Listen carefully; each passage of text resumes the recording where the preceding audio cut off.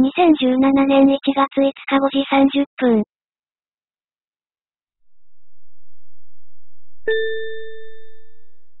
ネットで見つけた怖い話。第68話。長いトンネル。今から20年近くも前の話。免許取り立ての厨房の自分と、友人数人で夜のツーリングへ出かけた話です。長崎の某トンネルを抜け、数台の原茶で走っていたのですが、とある白丸トンネルの前で自分の原付きが突然不調になったんです。いきなり、15から20系。その時は、先頭を走っていたのに、トンネル前で最後尾。仕方なく、そのまま走っていたんですが、みんな見えなくなり一人でトンネルには入りました。初めてそのトンネルを通ったんですが、むちゃくちゃ長い、出口が見えない。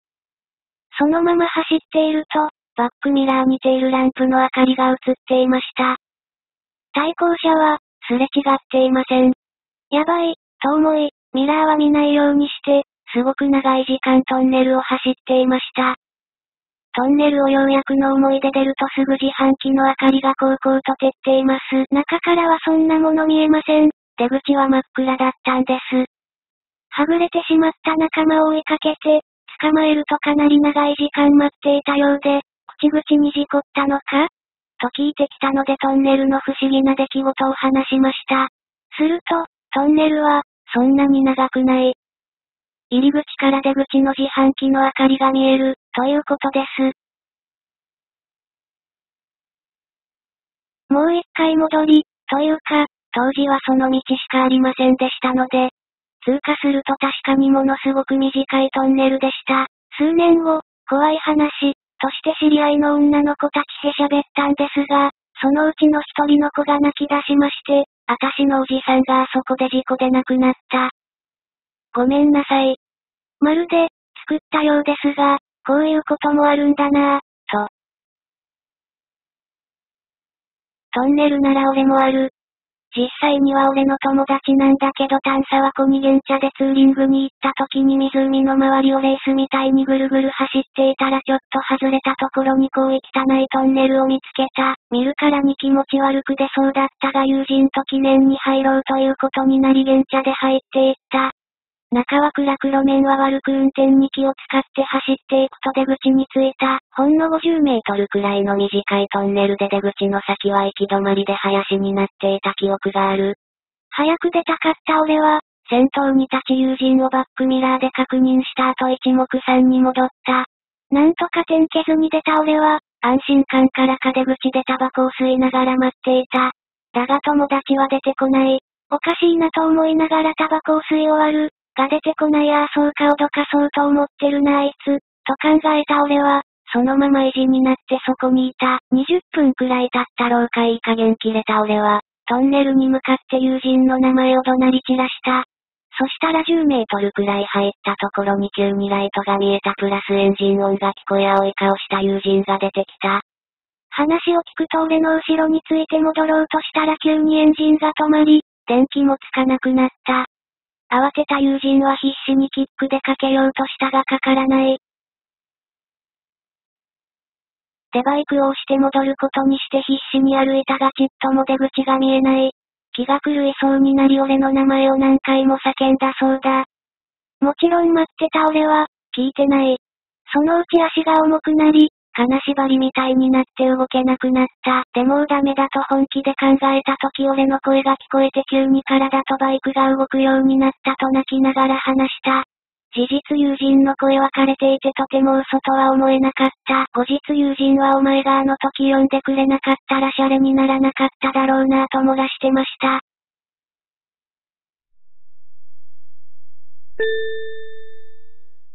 ネットで見つけた怖い話。第69話、布団。私は、子供の頃から、綿布団で寝ていました。しかし、家が火事になった時、私の布団も燃えてしまったのです。新しく買った羽毛布団は、寝心地が良くありません。私がずっしりとした重みのある、綿布団に慣れていたからです。ある日、私は、会社の同僚に、笑い話としてそのことを話しました。私は、綿布団の重さに慣れているので、羽毛布団を使うようになってからも、布団の上に座布団を乗せて寝ているよ。と、するとその同僚が、家に、もう使うことがない綿布団があるので、差し上げますよ。と言います。私は、同僚の顔も立てたいし、と思い、喜びながら綿布団をもらいました。その夜、私は、早速もらった綿布団を敷いて、寝ることにしたのです。最初は、久しぶりの綿布団は、気持ちがいいな。と思っていました。でも、私がうとうとしているとき、妙に布団が重く感じるのです。私が、妙な気配がするな。と思った矢先でした。突然に私の体が、金縛りで動かなくなってしまったのです。私は、驚き、恐怖のあまり目を開けようとしました。すると、私の耳元で、目を開けるな、と、誰かが囁いたのです。目を開けると危険だと、誰かが教えてくれているのか？私は、目を開けるな、という声を、そう判断しました。だから、私は、まぶたを固く閉じ、必死に息苦しさと恐怖に応えていたのです。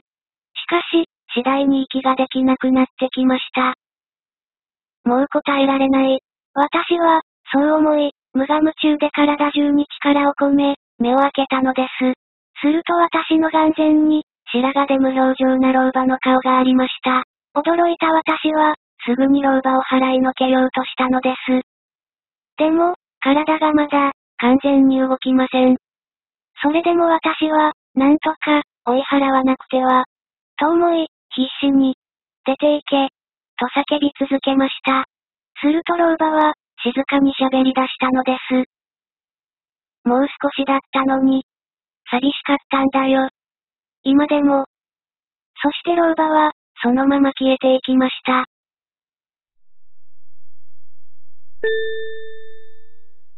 ネットで見つけた怖い話。第70話、霊界通信。妹が遊びに来た。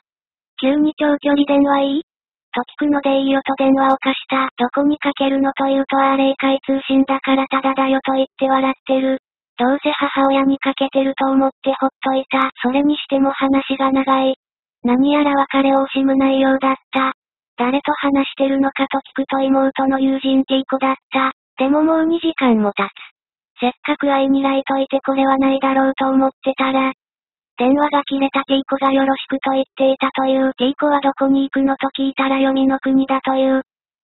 良い加減怖くなってきたので母親に電話したら、今ティーコの家から電話でティーコの不法の知らせがあったという、そのことを妹に言うとだから言ったでしょという。それからもしばしば妹は霊界通信と言っては電話に向かう。その後必ず電話があり誰かが死んだ知らせが来るちょっと不思議で怖い話でした。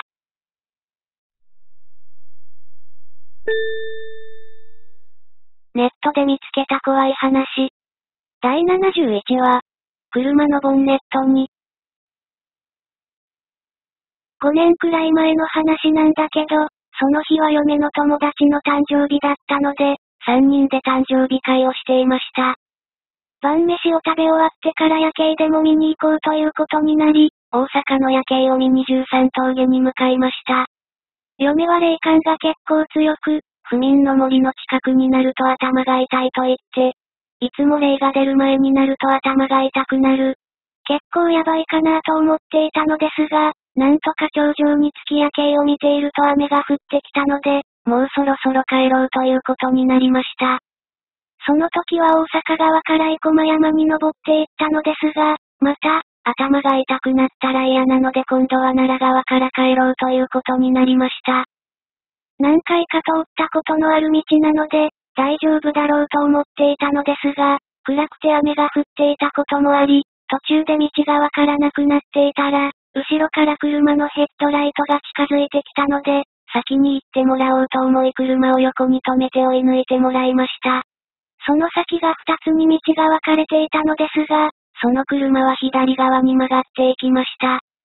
この車についていけば、下まで降りれると思って、すぐに追いかけたのですが、あっという間に前の車のテールランプは見えなくなり、仕方なく山を降りていっていたのですが、だんだん道が狭くなり、おまけに街灯もない真っ暗な山の中、すごい不安の中ひたすら一本道が続くだけ、下の方にかすかながら奈良の市街の夜景が見えてきたとき、パッと道が開けました。その瞬間、隣に乗っていた嫁が、キャーっていうすごい悲鳴。なんや、と思って前をけん。ると、車のヘッドライトに映し出されたのは一面の墓地でした。それも、どう見ても無縁墓地みたいな錆びれた墓地。こっちも必死で車を走らせ、その墓地の横の細い道を下っていきました。横を見ると、耳を両手で覆いうつむきながら震えている嫁がいました。なんとか、事故だけは避けようと必死に冷静を取り戻そうとしながら、なんとか降りることができたのですが、嫁は、まだ震えている。もう大丈夫やでと言っても、ガクガク唇が震えている。ただことではないようなので、どうした？と聞いてみると、その墓地は見ていないの。その前に、車のボンネットに首のない人がこっちに向かって手を差し出して、手招いてきたの。それを聞いた時は全身が身の毛だったのがわかりました。つくづく霊感がなくてよかったと思うし、もしそんなのを見ていたら絶対運転なんてできてないだろうと思いました。しばらくしたら、嫁は吐いていた。よぽっと怖かったのだろう。嫁との霊体験の一つです。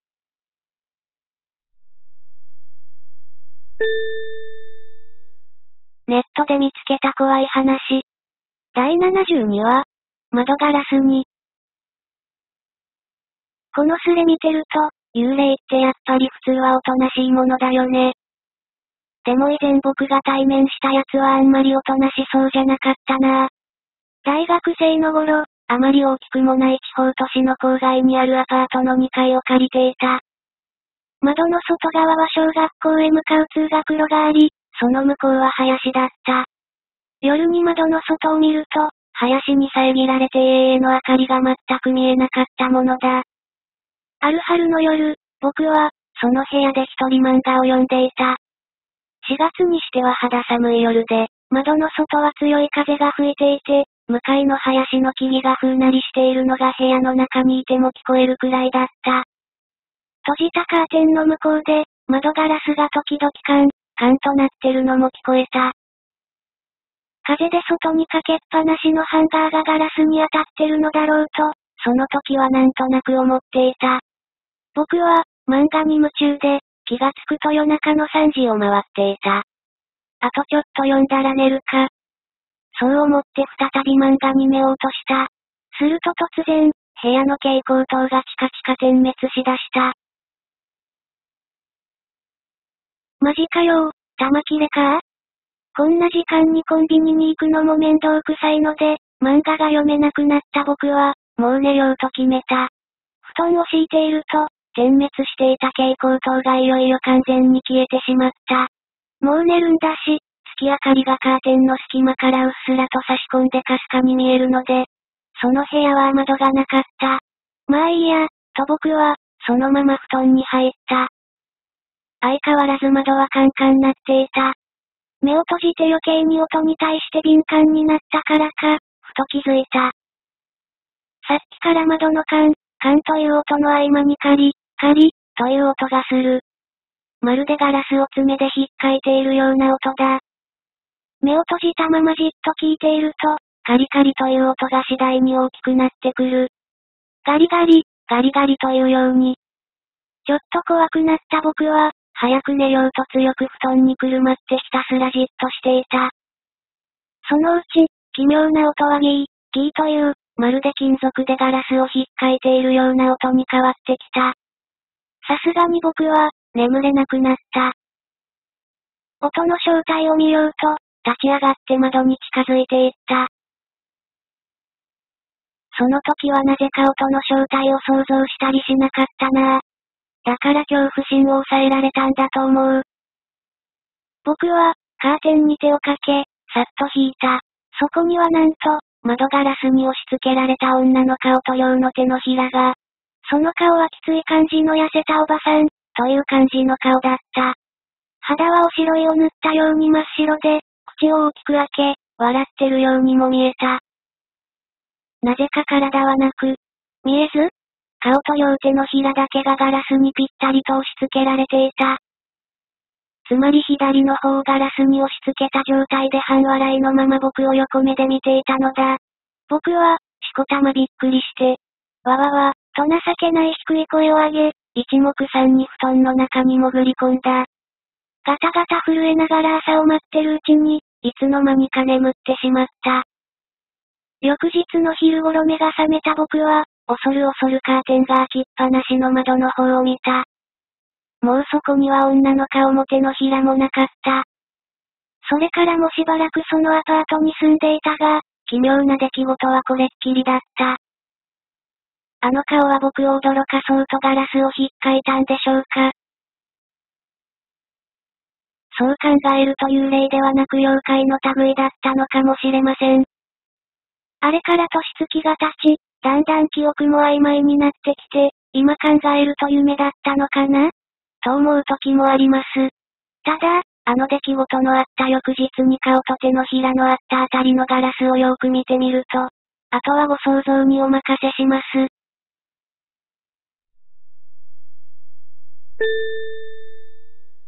ネットで見つけた怖い話。第73話、上智小劇場。東京四谷にある上智小劇場は、上智大学の中にある小さな劇場です。大学の中でも一番古い建物である、1号館のどん詰まりにあるこの劇場は、かつてチャペルとして用いられていたのですが、大学紛争時に、学生が演劇活動をするための場所が必要であると、先日体感されたある神父様が意を決して黒塗りにしてしまったという、曰く付きの場所です。この劇場に足を運ぶと、そんな王子のチャペルを思わせる内装が目につきます。客席を寸断するように並ぶ太くて四角い黒い柱には、チャペルの装飾が施してあります。実際に芝居をやる僕たちにとっては、ちょっと邪魔っ気で、でもなんか伝統を感じさせてくれるような、不思議な空間を形作るものでした。劇場には人の気が集まりやすく、いろいろな会も起こりがちだと言いますが、この上智小劇場もご多分に漏れず、様々な話が伝えられていました。領事が客席を走り回って、黒い柱の中に消えたとか。一人で舞台に残って稽古をしていて、気配を感じて振り返ったら、無人のはずの客席に万円のお客さんがいたとか。しっかり固定したはずの重い照明が、さっきまで役者が座っていた舞台の真ん中にいきなりガシャンと落ちてきたりとか。そんな場所なので、僕たちは必ず、舞台稽古に入る初日には、舞台に向かって右側、上手の隅の暗がりにお神酒を備え、舞台の無事と成功をお祈りしたのでした。カトリック系の大学なのに変な話ですよね。その時一緒に舞台に上がっていた女の子の中に、感じやすい人がいました。僕と同じ新人です。彼女ももちろん、神妙な顔でお祈りに参加していました。しかしその翌々日、舞台稽古に入って3日目、いよいよ明日は本番という日の夜7時頃だったでしょうか。稽古中突然、舞台袖の暗がりで、大声で叫んだのです。いやー、彼女はそういうと腰を抜かして、大声で泣き崩れてしまいました。舞台監督をしていた先輩も、ただならぬ雰囲気に稽古を中断し、腰を抜かした彼女をとりあえず照明の当たる舞台中央へと運んできました。彼女はガクガク震えていました。あそこ、怖い。なんか、なんかいた気がする。と反響欄です。先輩たちは、結構こういうことに慣れているのか、彼女の肩を抱いて慰めます。大丈夫だから、悪さはしないから。しかしこの時初めて舞台を踏む僕は、彼女が泣いている姿がかわいそうで、そして彼女を泣かせた存在にマジでムカついて、彼女が怖がった場所にずかずか入っていくと、どっか行けばか野郎、と暗がりに向けて大声で叫んだのです。先輩たちは呆れ顔でした。その後は彼女も、色々気配を感じつつも落ち着きを取り戻しました。会議があろうとなかろうと、舞台の初日は待ってはくれないので、みんなで深夜まで毎日稽古を続けていました。あっという間に初日、そして落日、最終日、です。舞台が進んで、僕の出番。彼君の声をだましだまし出して演技をし、なんとか終了。あとは曲が鳴って、暗転の間に暗闇を5歩歩いて舞台から退場するだけです。みんな無事に最終日までやり遂げることができた。お客の入りも悪くなかったし、よかったなぁと思ったその時でした。真っ暗闇の中で、僕の右足が空を切りました。あるべきところに床がない。落ちる。と思う間もなく僕は、2メートル近い高さのセットの裏の床へと転落。ものすごい音がしましたが曲に紛れてなんとかごまかされました。僕は、そのままセットの裏で、激痛で動けないまま転がっていました。結果、右足首捻挫。パンパンに腫れ上がって松葉杖なしでは歩くのもままならない状態。楽しみしていた打ち上げにも参加できずに、一人寂しく帰りました。でもこんな軽傷で済んでよかったです。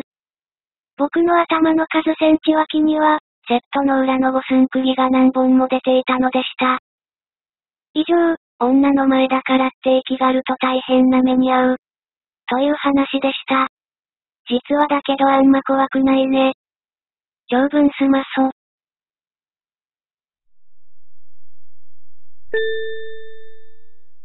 ネットで見つけた怖い話。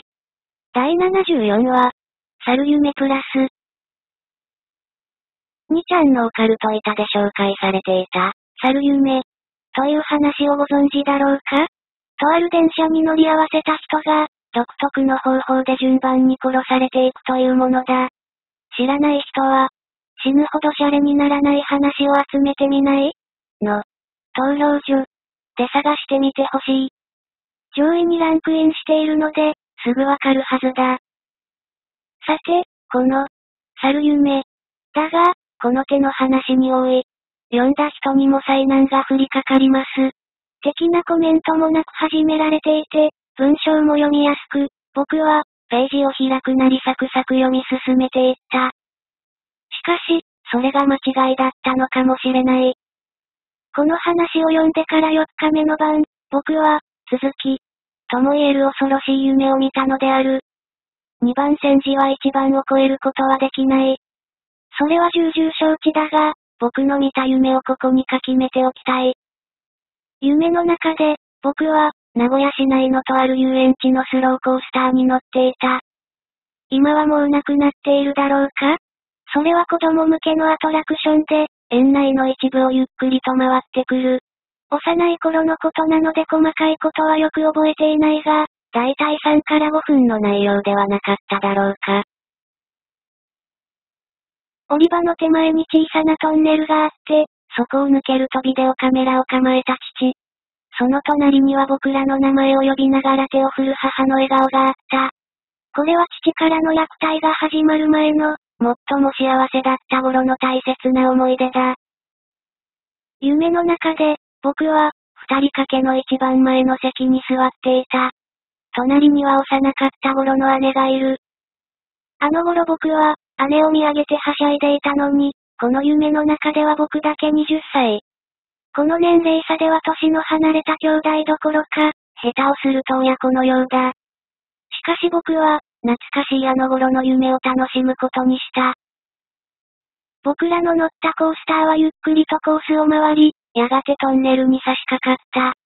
このトンネルを抜ければ、優しかった父にもう一渡らえる。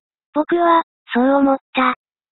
しかしトンネルを抜けると、そこはあの遊園地ではなかった。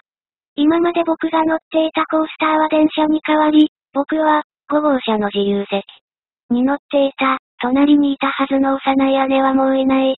席は前の方で、喫煙車両である4号車とをつなぐデッキのドアが開くとタバコの匂いがした。僕は、新幹線で移動することがよくあるので、夢がそこに繋がってしまったのだろう。まったく、夢はいつも、いいとこ、を見せてくれない。僕は、舌打ちした。窓の外を見慣れた景色が過ぎていく。ただ現実と違うのは、車内があまりにも静かすぎること。そして二人掛けと三人掛け、左右どちらのシートを見てもどの面にも窓際に一人ずつしかかけていない。そして見ないように顔色が悪かった。不気味だな。と思いつつ僕は、いつの間にか抱えていたカバンから MD プレイヤーを取り出し、お気に入りの曲を聴いた。と、新幹線が減速し始める。おかしいな京都に着くには、まだ早すぎる。もしかして、岐阜羽島にも止まるのか？僕は、駅名を確認しようとヘッドフォンを外したが間に合わず、聞き取ることができなかった。見知らぬ駅で止まる新幹線、突然車内に響く叫び声。どうやら後ろの方の席で何かあったようだった。しかしものすごい声だったにもかかわらず、誰一人反応しない。何があったのか？しかし僕の視力では後ろまで見えない。乗り降りする人は誰一人なく、新幹線はまたゆっくりと走り始めた。5分と経たないうちにまた減速。次の駅名は聞き取ることができた。吊るし上げ。新幹線はまた知らない駅で止まる。そしてまた、叫び声、慌てて後ろを振り返ると、初老の女性が吊るし上げられていた。相変わらずよく見えないが、首に紐がかけられているのだろう。首のあたりに手をやってもがいていた。手足がシートや壁に当たる音がバタンバタンと聞こえる。僕は、やっとこの夢が何であるかわかった。おそらくこれは、猿夢。だ、一刻も早く目を覚まさなくてはならない。しかし僕は、自由に目を覚ますことができない人間であるため、しばらくその夢を見ることになってしまった。とりあえず今何人が殺されているのか、僕は、何番目なのかを知っておきたかった。僕の乗る5号車の後ろ4分の1ほどは空席のようだ。しかし実はすでに殺されていて、そこには、猿夢、のように、池作り、や、えぐり出し、された人が座って、いるのかもしれない。僕が座っているのは前から6番目。まだまだ順番が来るには早いが、さっさと目覚めなくてはならない。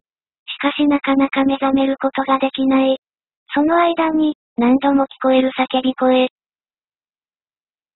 と、いつもドリンクやサンドイッチを売り来る車内販売の女性が、ニコニコしながらカートに内臓を乗せて押していくのが見えた。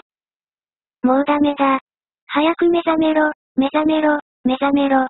順番を確認するのに、僕は、また後ろを振り返った。すると後ろに座っていた何人かがすっと消え、同じように席もなくなった。前から6番目にあったはずの僕の席は真ん中あたりに来ていた。慌てる僕に、すぐ後ろに座っていたリーマン風の男が言った。目覚めたから席が消えたんだよ。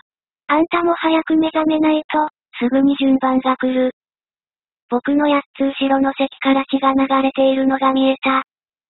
大丈夫、まだ7人余裕がある。早く目覚めて、もう二度とこの夢を見なければいい。次の駅が来た。串刺し。と、大変なことになった。自分の番が来るまでも7人あると思っていたのに、その駅で一気に5人串刺しになって殺されてしまったのだ。次は僕の後ろのリーマンの番だ。しかし彼はシート越しに穏やかな口調で話し始めた。俺はもう目覚めなくていいんだ。会社はリストラされたし、妻は、ガクガク震えながら彼の身の上話を聞いているうちに目が覚めた。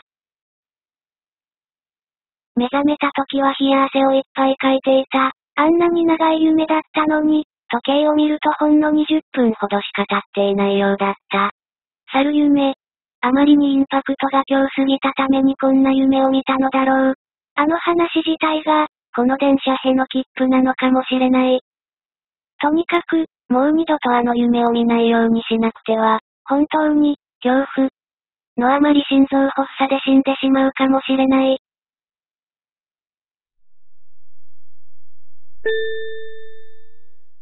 今日のオカルトスレ。都市伝説を俺に教えてあげるスレ。待ってる。リンク。横浜は黒船が来るまで乾村だった。もっと怖いやつ怖いやつ、隙間男とか赤い部屋とか。とある夫婦が、安い値段で一軒家を買った。駅から近く、なかなか広いので、何一つ不満はなかった。しかし一つだけ不思議な点があった。それはなぜかいつも廊下に赤いクレヨンが転がっているのだ。妻が何度拾っても、最初はさほど変に思わず片付けていたが、次の日も、その次の日も転がっている。しかも廊下の決まった場所に夫婦に子供はいない。さすがに気味が悪くなった夫婦はこの家を売った不動産屋に、相談した。すると不動産屋は重い表情で家の間取り図を取り出してきた。間取り図をよく見ると明らかにおかしいところがあった。部屋が一つ多いのだ。しかもいつもクレヨンが転がっている廊下に、夫婦はどういうことかと問い詰めた。すると不動産屋は重い口を開いた。不動産屋の話はこうだ。あの家には以前男の子と両親の3人家族が住んでいた。男の子は両親にひどい虐待を受けていて、ろくに食事も与えられず部屋に閉じ込められていた。やがて男の子は餓死し、両親はすぐに引っ越していった。その後家はきれいに片付けられ新しい住人が引っ越してきたが、あの部屋に入ると気分が悪くなる。と言ってまたすぐに出て行ってしまった。次にやってきた住人も同じように。仕方なく不動産屋はその部屋を壁で塞ぐようにリフォームした。そしてやってきた新しい住人があなたたちなのだ、と。じゃあクレヨンもその部屋が原因なのかも。夫婦は不動産屋と共に真相を解明すべく、閉ざされた壁を壊すことにした。壁を掘っていくと確かに空間があった。その部屋は廃墟のような異様な雰囲気が漂っている。夫婦は中に入り周りを見渡した。その瞬間二人は言葉を失った。壁一面に赤いクレヨンで文字が書かれていたのだ。リンク。じゃあ泉の広場の赤い服の女で、ストーリー教えてくれるともっとありがたい。3年近く前、泉の広場のところで、変な女がうろついていた。通勤の帰りによく見かけた。30前後で、赤い色のデザインフルソナドレスっぽい服着てて、小柄で、顔色悪く目がうつろ。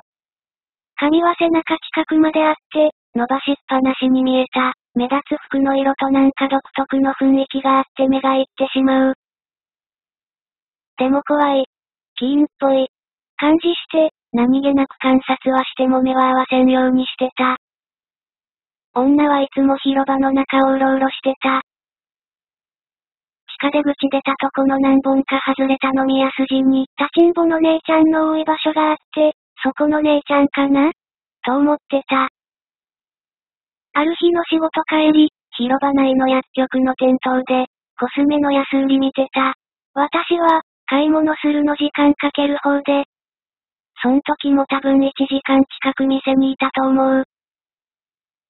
その夜も女は広場をうろついていて、いつものことなんで特に気に留めてなかった。でも、店から出た時、視線感じて顔上げると、広場の真ん中の噴水を隔てて、女がこっち見てた。なんか変な感じがした。私は、目が悪くて、メガネかけてても、少し離れた場所だと相手の顔とかよく見えないのに、女は妙にくっきり見えたんよ。3D 見たく。目が合った途端、気持ち悪くなった。何か本能的に怖くて、ビシー。とチキン肌立って。うわ、やばい。でも何が？自分でも思考回路謎のまま、それでも反射的に、店内に戻ろうとしたけど、金縛りかかったみたいに身体が動かん。助け求めようとして声すら出ないことに気づいた。いつもふらふら歩いてるはずの女が、すっと素早く近寄ってくる。明らかに普通じゃない様子で、髪振り乱してドレスの裾揺らしてこっち来るのに、誰も気づいてくれない。ものすごい顔で笑ってて、その表情の怖さにふっと気が遠くなった。だって、目のあるとこ、全部黒目に変わってるんやで。怖い、もうあかんって思った時に、いきなり誰かが後ろからぐっと腕を掴んできた。驚いて顔上げる。ここで身体の自由が戻った。と、男の人で、話しかけようとしたら、静かにして、って小声で注意された。呆然として顔見上げてると、男の人はますます手をぐーっと握ってきて、怖い顔で前を見てる。釣られて視線戻したら、女がすぐそばに立ってて、男の人を呪い殺しそうな目つきで睨んでた。すごい陰惨な顔してて、怖くて横で震えてたけど、女はもううちのことは眼中にない感じで、殺す。って、つぶやいて、男の人の横をぶつかるみたいに通り過ぎて店内に入ってった。男の人はその後、私をぐいぐい引いて、駅構内まで来ると、やっと手を離してくれた。駅が賑やかで、さっきやったことが信じられんで呆然としてると、大丈夫か？って声かけてきたんで、うなずいたけど、本当はかなりパニクってたと思う。相手の名前聞いたりとか、助けてもらった？のにお礼言うとか、まともにできなかった。男の人は改札まで見送ってくれた。別れ際に、もうあそこ通ったらあかん、とか言われて。でも仕事あるし。命惜しかったらやめとけ。答えようがなくて黙ってると。今日は運良かったんや。あんたの守護さんが俺を呼んで、あんたを守ってくれたんやで。たまたまやねん。わかるか？あんたが助かったの。たまたま守護さんがわかるもんが、たまたまそばにおった。それだけやで。あいつに取り殺されたくなかったら、もう通らんとき。守護さんって何やのん守護霊のことか？霊なんて見たことなかったから、自分の体験したのが何なのか、わからなかった。正直、今もわからない。女はどう見ても生身の人間に見えた。それで返答に困ってると、その人は私に何度も一人で通るなよと繰り返して、言ってしまった。未だにあれが何だったのかわからない。私は、2ヶ月後、そこの仕事場辞めたけど、その間夜は泉の広場は一度も通らなかった。男の人も、女も共に謎。男の人の名前、聞いておけばよかった。助けてくれたんなら、今も半信半疑だけど、お礼言いたかった。反面、担がれたんかな？と思わなくもない。でも目的は何さすっきりしない。怖い目にあった次の日、証拠りもなく泉の広場を通ろうとしたのな。霊体験の少ない悲しさ。わら、で、なんか日が変われば白チューム。夜だったけど、見た、みたいな感じで、恐怖感が薄れたんさ。実際昼間通った時は、なんともなかった。で、帰り道。さすがに暗くなってると、あの男の人の、取り殺される。って言葉が浮かんで怖かった。ただ、梅田界隈って賑やかやから、警戒心は薄れてた。自分の中に、女が人間かどうか確かめたい気持ちもあった。でも、甘かった。泉の広場に続く階段を途中まで降りると、赤服の女がしっかりいたのな。下から三段目ぐらいの、階段右の隅っこの方に、背中こっちに向けて座ってた。もしかしてこれは待ち伏せ？反射的にそう思った。私は、広場をうろつく姿は見てたけど、女が階段に座ってるのを見たことはなかった。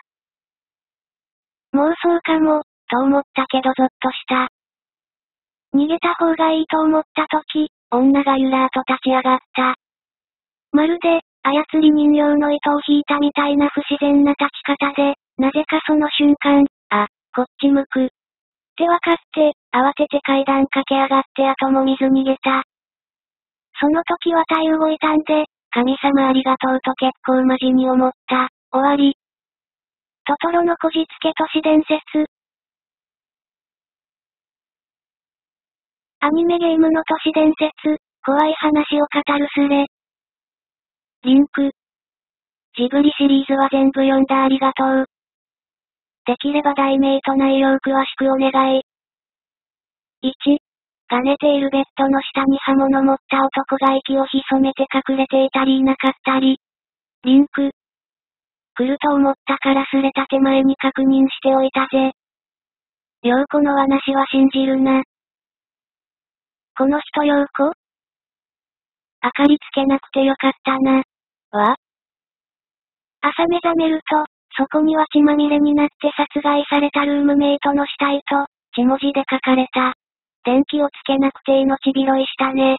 というメッセージだけが残されていた。これは、女性が帰宅する寸前に殺人が行われており、殺人犯が部屋に隠れていて、電気をつけてしまっていたら殺されていたというメッセージである。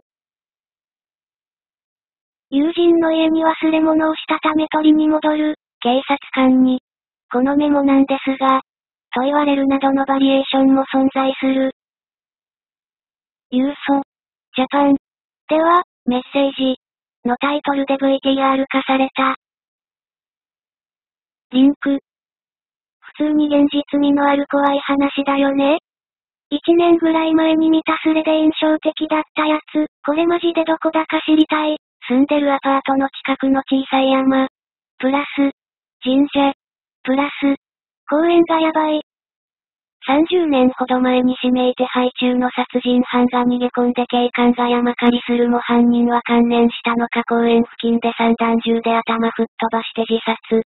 吹っ飛ばした頭のかけらは神社まで飛んでたとかなんとか、以来そこは近隣県でも屈指のホラースポットに。今でも夜な夜な頭がぐちゃにその男とおぼしき奴が歩いてる。俺も明らかに身体のバランスがやばい奴が歩いてるの遠くで見た。ここのアパート紹介した不動産屋は二度と利用しねえ。怖い普通に怖い。数年前、ふとある村のことを思い出した。一人で旅行した時に行った小さな旅館のある村。心のこもったもてなしが印象的だったが、なぜか急に行きたくなった。連休に一人で車を走らせた。記憶力には自信がある方なので、道は覚えている。村に近づくと、場所を示す看板があるはずなのだが、その看板を見つけた時あれと思った。この先〇〇ゲーム、となっていた、と思う、のが、巨頭を、になっていた。変な予感と言ってみたい気持ちが交錯したが、行ってみることにした。車で入ってみると村は廃村になっており、建物にも草が巻きついていた。車を降りようとすると、20メートルくらい先の草むらから、頭がやたら大きい人間、が出てきた。え？え？とか思っていると、周りにもいっぱいいる。しかもキモい動きで追いかけてきた。両手をぴったりと足につけ、でかい頭を左右に振りながら、車から降りないでよかった。恐ろしい勢いで車をバックさせ、とんでもない勢いで国道まで飛ばした。帰って地図を見ても、数年前に行った村と、その日行った場所は間違っていなかった。だが、もう一度行こうとは思わない。巨大男のいる村だ。ありがとう。あれ、フィラデルフィア計画は都市伝説か？フィラデルフィア事件のような都市伝説教えて。リンク。都市伝説です。私は、細身の男、を見ました。そしたら死んでいました。ある写真家の証言なんやけどな。細身のその男を見た瞬間死に行く恐怖と安らぎがありました。という、あと1秒くらい見てたら死んでた。要するスレンダーマンを見たら死ぬ。これまさかその写真じゃないよな。その写真やで。すまんな。まあこの写真20回くらい見てるけどなんともないよ。ひと木の間に映ってる明らかに身長おかしい影みたいなのがスレンダーマン。どうでもいいけど、スレンダーマンって創作だよ。日本のシャレコアみたいなもん、YES、まあ、82の言う通りなんだけどね。それでもなんかロマンがある。アメリカには人工的に地震が起こせる。塔は刺されてる。ハイ RP って装置がある。公式には気候変動を読み取れるとか書いてあるけど。リンク。地震兵器はあると信じてる。伝説の兵器。都市伝説。車のナビのやつは知らない。陸上自衛隊のとある駐屯地。基地のことね。には旧大日本帝国軍の兵士の霊が直立不動の敬礼をしながら立っている。それ行きたい。おちょなんさんは？リンク。わからない。わからないの全部知りたい。これようこ。怖いやつかと思って心臓バクバクだったらある意味小さい悲鳴あげた。自衛隊の話は詳しいぞ海上自衛隊の船には除霊できないレベルで呪われた船がある。暗い日曜日。って曲があるんだけど、聞くと自殺したくなるらしい。ちなみに俺は、聞いたことない。俺が生きてるから聞いても大丈夫。自殺したくなるのか実際にするのかが気になる。実際戦時中にその曲聴いて200人だか自殺したらしい。暗い日曜日聞いての死亡例ないはず。本作を聞いて世界中で数百人、内157名はハンガリー人が自殺したと言われているが、この本作と自殺との因果関係は明確には証明されておらず、本作が原因とされる自殺の記録も明確にはない、故に都市伝説ではないかとも言われている。しかしながら、当時の自殺者の中に本作の関係を匂わせる形で自殺をした者が少なからずいると言われており、政府が放送禁止に指定したとも言われている。だからあくまで都市伝説なんだよ。でもこれと同じような話で聞くと暴力的になるとか、灰になるとかで何人もの人が人殺した話あったよね。5km 以上道なりです。日が落ち、山道に入ってもカーナビは言う。5km 以上道なりです。やがて前が見えないくらいの大雨となるが、それでもカーナビは言う。5km 以上道なりです。突然の雷鳴に驚きブレーキを踏んだ運転手が嫌な気を感じて下車したところ、目前は断崖絶壁であった。カーナビは言った。死ねばよかったのに。あと少しだったのに。カーナビボコボコにしたんだろうなありがとう。後くらい日曜日の前奏は科学的に人の恐怖を煽り不安をかき立てるような作りになっていると証明されているらしい。某ホラー映画の BGM や異様に飛び込みの大駅のホームでもこの手法で作られた曲が流されている。ありがとう。生放送の生首事件。ある深夜番組に、身体の一部が消えている3人の少女の写真が送られてくる。真ん中に写っている投稿者に電話で話を聞くと、両端の足と腕が消えている友達は、すでにその部位を失い死んでしまい、首が消えている彼女は怖くて外に出られないという。彼女の家はテレビ局の近くなので、出演交渉した結果、深夜なので母親同伴でよければ、という運びになる。しかし、少女はテレビ局のすぐ側で交通事故に遭い首が取れてしまう。発狂した母親は、娘の生首を持ったまま静止を振り切ってスタジオに乗り込み、その模様が数秒間放送されてしまった、というもの。鶴瓶のやつだな。